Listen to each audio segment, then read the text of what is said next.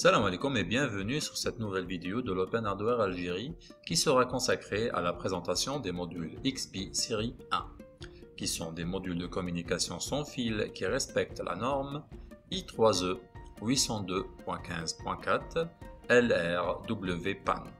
LR pour Low Rate ou faible débit et WPAN pour Wireless Personal Access Network ou réseau sans fil personnel. Les modules XB sont disponibles en différentes versions, mais leur différence majeure est la puissance de signal émise, le type d'antenne installée, la fréquence de fonctionnement et les possibilités réseau qu'ils intègrent.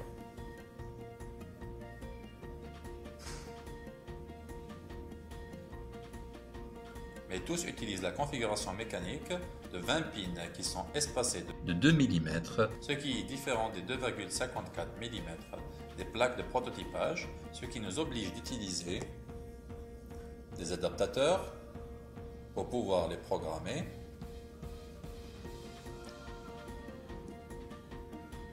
ou bien des shields pour les utiliser avec les microcontrôleurs Arduino par exemple. Nous allons voir maintenant la fonction de chaque pin qui constitue le module.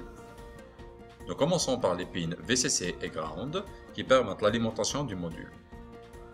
VCC admet une tension de 2,8 à 3,4 volts. Une tension plus grande pourra endommager le module. Des out et des in ont la fonction d'entrée-sortie série depuis et vers le module. Reset. Une mise en niveau bas de ce pin va remettre à zéro la configuration du module. RSSI pour Received Signal Strength Indication. Le module peut donner en sortie sur ce pin la valeur de la puissance du signal radio reçu et cela sous forme de PWM. DTR, RTS, CTS. Euh, elles sont utilisées pour le cas de DTR pour le chargement du firmware du module. RTS et CTS sont utilisées pour la gestion des transferts de données entre le module XB et votre microcontrôleur ou bien votre PC. Sleep Request et On slash Sleep. Pour la première, c'est une entrée. En la mettant en niveau haut, plongera le module en veille si ce mode est configuré. Pour la seconde, c'est une sortie qui informe de l'état du module.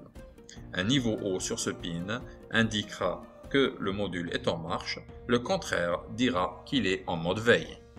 DIO 0 à DIO 7 et DIO 8 sont utilisés comme des entrées-sorties tout ou rien à 3,3 volts standard. AD0 à AD6 sont des entrées analogiques d'une résolution de 10 bits. PWM0 et PWM1 sont des sorties PWM standard d'une résolution de 10 bits. Après avoir vu les différents pins euh, qui composent le module, il est à signaler que la manière la plus commune d'utiliser le module est de l'alimenter via VCC et Ground et de communiquer avec lui avec une liaison série. Voilà, c'est tout pour cette vidéo de présentation des modules XB série 1. Dans nos prochaines vidéos, nous aborderons leur configuration et utilisation basique.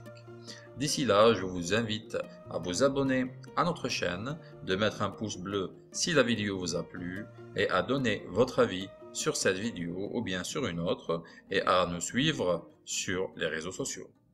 Et pour finir, de la part de toute l'équipe, je vous dis salam